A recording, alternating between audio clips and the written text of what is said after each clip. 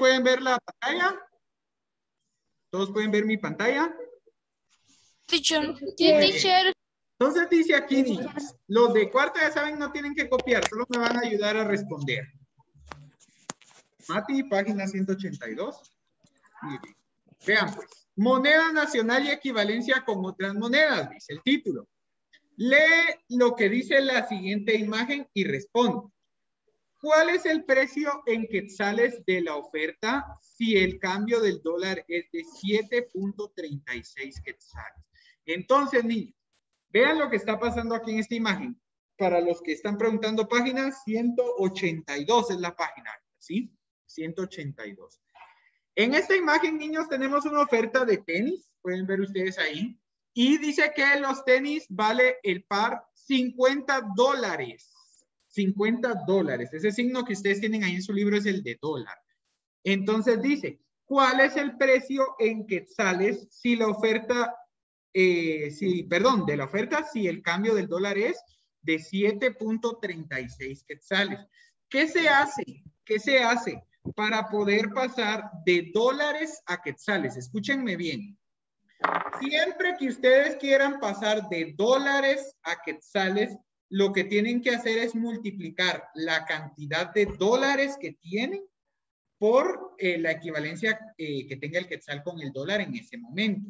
Por ejemplo, si los zapatos valen 50 dólares, ¿sí? Si los zapatos valen 50 dólares y ahorita eh, nosotros tenemos que el quetzal, o por un dólar, mejor dicho, me dan 7.36 quetzales, entonces esa es la equivalencia que hay entre el quetzal y el dólar. Entonces ahí nosotros tendríamos que multiplicar 7.36, que es la equivalencia de quetzales a dólares, por los 50 dólares que tenemos nosotros ahí.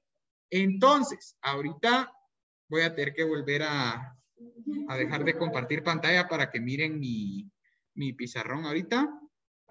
¿Pueden ver el pizarrón ahí, niños? Sí, teacher. Sí, teacher.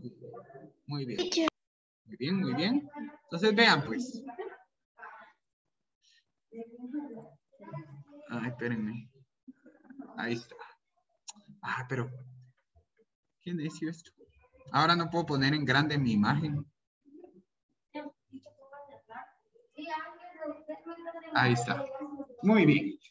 Vean, pues, niños. Ahí ustedes para poder convertir esos 50 dólares que tienen en quetzales, primero tienen que ver la equivalencia. La equivalencia que nos están dando ahí en el libro es, este un dólar, un dólar, un dólar equivale a 7.36 quetzales. Quetzales. ¿Sí? Un dólar equivale, ahí en su libro lo pueden copiar, ¿sí? Un dólar equivale a 7.36 quetzales, ¿sí? Entonces, ustedes lo que van a hacer siempre que quieran convertir, oigan bien, esto solo es cuando quieran pasar de dólares a quetzales, porque si quieren pasar Teacher, copiamos eso. es otra, otro procedimiento diferente, ¿sí? ¿Qué manda, Anita? Teacher, los de cuartos copiamos lo que está escribiendo. Sí, ese sí, pueden copiar, solo para que vean cómo se hace la conversión, ¿sí? Muy bien. Veamos. Vamos a convertir entonces, niños, de dólares a quetzales. Como les digo, este procedimiento solo lo vamos a usar cuando nosotros queramos convertir de dólares a quetzales. Entonces, para poder convertir de dólares a quetzales, vamos a multiplicar la cantidad de dólares que tenemos por la equivalencia en quetzales. Si aquí nos están diciendo que un dólar equivale a 7.36 quetzales, entonces si yo tengo 50 dólares, 50 dólares, que es lo que vale eh, los zapatos que tenemos ahí en el libro, entonces los 50 dólares los tengo que multiplicar por lo que vale el quetzal en comparación al dólar, ¿sí? Si un dólar vale 7.36 quetzales, entonces 50 dólares, ¿cuántos quetzales van a valer? Lo tengo que multiplicar por la equivalencia en quetzales que tenemos. Para los que no saben cómo hacer una multiplicación con decimales, que serían los niños de cuatro, en este momento les voy a explicar cómo se hace una multiplicación con decimales. La multiplicación con decimales es sumamente fácil. Lo único que tenemos que hacer es eh, agarrar eh, cualquiera de los dos números y colocarlos en la parte de arriba de nuestra multiplicación. Ya saben ustedes que la mayoría de veces pues se toma el número que más cifras tiene en la parte de arriba de la multiplicación y el que menos cifras tiene en la parte de abajo. Aquí en la multiplicación, cuando ustedes tengan que multiplicar cualquier número decimal, niños, al momento de, de, hacer la multiplicación van a hacer de cuenta que el punto decimal no existe para nada, ¿sí? Ustedes ahorita ignoren los puntos decimales. Eso siempre. Que vayan a hacer una multiplicación con decimales deben ignorar el punto, ¿sí? El punto es como que no existiera. Entonces ahorita es como que ustedes estuvieran multiplicando 7.36 por 50. ¿Ya se dieron cuenta? Es como que ustedes tuvieran, en lugar de tener este 7.36, el 736, ¿sí? Van a ignorar el punto. Ahorita el punto no existe. Aquí la multiplicación no es como en la suma que les enseñé ayer, que el punto se ponía en un cuadrito aparte. No. Aquí el punto vamos a hacer de cuenta que no existe. ¿Estamos de acuerdo? Para, para nosotros ahorita el punto no existe. Entonces ahorita nosotros queremos multiplicar 736 por 50. ¿Estamos? ¿Estamos ahí? Sí, teacher. Sí, teacher. Sí, teacher. Hagamos la multiplicación normal. 0 por 6.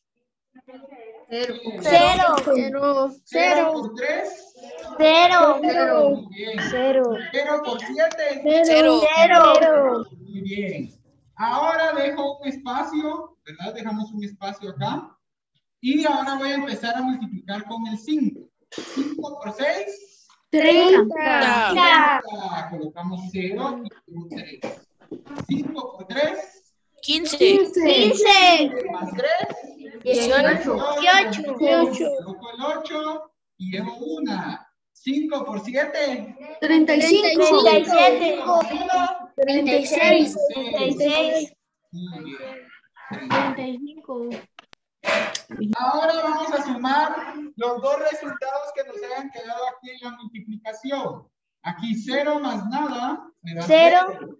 0 más 0. 0. 0 más 8. 8. 8, 6. 6. 6, 3. 3, 3. Bien. Entonces, aquí, niños, la respuesta, quiero que ustedes la vean, sería como que me quedara 36 mil. 36.800. Exacto, pero, pero, pero, mucho ojo acá. Ahora, ahora sí en la respuesta tenemos que ubicar el punto decimal que ignoramos antes, porque como estamos haciendo multiplicación con decimales, la respuesta tiene que llevar punto decimal. Pero ahora, ¿cómo sabemos dónde va a ir el punto decimal en nuestra respuesta? Fácil. Lo único que tienen que hacer, niños, oigan bien, es contar cuántos decimales hay entre los dos números. A ver, el 7.36, ¿cuántos decimales tiene? 2. 2, Muy bien, que sería este y sería este. Entonces tenemos dos decimales aquí en el primer número. Entonces vamos a colocar aquí que este número, ay, ¿por qué el azul no pinta? A mí me gusta el color azul. Dos, ¿sí? Quiero que ustedes vean, no, casi no me gusta el rojo, pero es el único que se mira bien, bien. Entonces, niños, vamos a colocar aquí que tenemos dos decimales en el primer número. Ahora, en el segundo número, ¿cuántos decimales tenemos? Cero. 2, 0, Dos no. ¿Qué dijimos que eran los decimales? Los números que estaban después del punto. ¿50 tiene punto decimal? No. ¿50 tiene punto? No. no, Entonces 50 no tiene ningún decimal. El 7.36 tiene dos decimales porque hay dos números que están después del punto. Pero el 50 ni siquiera tiene punto decimal, así que tiene cero decimales. Ahora sumamos los dos decimales que tenía el primer número, más los cero decimales que tiene el segundo número, ¿cuánto sería? Dos. Eso me quiere decir, niños, que mi respuesta debe llevar dos decimales. Muy bien, Juanmi. Entonces, niños, ustedes, como ya les apareció aquí que tienen dos decimales, tienen que contar de derecha a izquierda que queden dos números detrás del punto. Entonces cuentan aquí en la respuesta. Uno, dos, entonces el punto iría aquí, miren. ¿Y cuál sería nuestra verdadera respuesta? Entonces, ¿a cuántos dos? 368. 368. 68.00. 368.00, pero como tenemos punto 00, al escribir la respuesta, podríamos decir que solo tenemos 368. Muy bien. Entonces, ¿qué vamos a responder ahí en nuestro libro, niños? Donde dice cuál es el precio en quetzales y la oferta de, si- de la oferta, perdón. Si el cambio del dólar es de 7.36 quetzales, nosotros vamos a responder que el precio en quetzales de los zapatos es de Tres- 368. 368.